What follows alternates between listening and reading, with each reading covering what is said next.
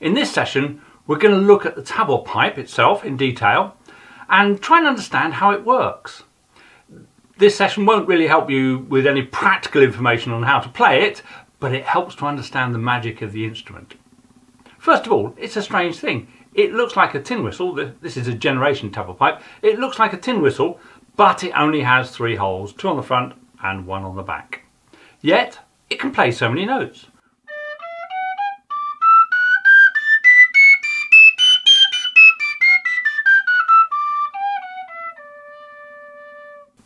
The generation tabor pipe is just that. It's a tin whistle that's missing some of the holes. And here to uh, compare is a generation whistle and a generation tabor pipe uh, next to each other.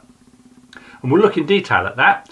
Um, the holes are in exactly the same place as the uh, on the tabor pipe as they are on the tin whistle. Just one of them's moved around the back. So here, to, to, demonstrate how similar they are, I've got uh, a tabor pipe and a tin whistle with the top three holes covered up with a bit of tape and uh, thus turning it into a tabor pipe. And uh, let's see how we can get them sound.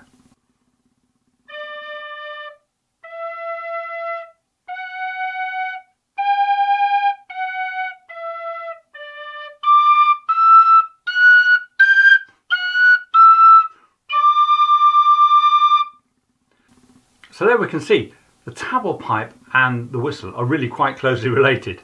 But anyway, let's have a look, close look at how the tabor pipe works. Well, the tabor pipe is what we call an overtone flute. And overtone flutes work on breath pressure.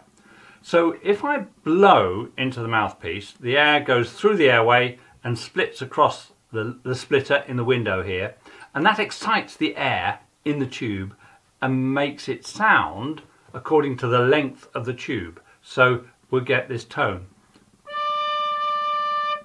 Now with an overtone flute, you blow harder and it excites it a bit more.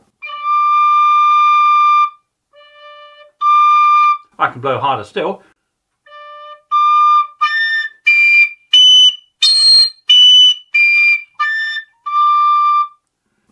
Each time I blow harder, we get a higher note. Now, physicists will tell you all about harmonics and partials, but uh, we don't need to call, know about that. We call them overtones. So you get the, the root note, and then the first overtone, second overtone, third, fourth, and fifth, if you can go for it. So we've established that the tabor pipe, um, if you've got all the finger holes closed, you can get four or five notes.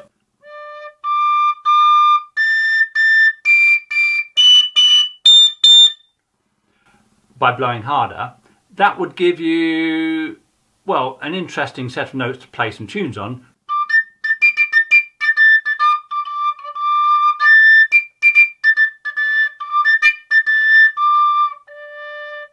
But quite boring tunes really, and quite odd tunes. The tabor pipe has these finger holes and that opens up fantastic uh, opportunities. So I can get my overtones with all the fingers closed and then I can open one finger and get a different set. And the next finger. And the thumb.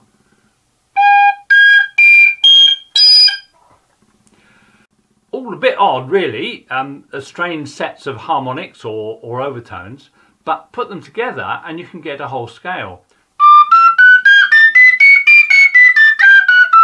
You can go further.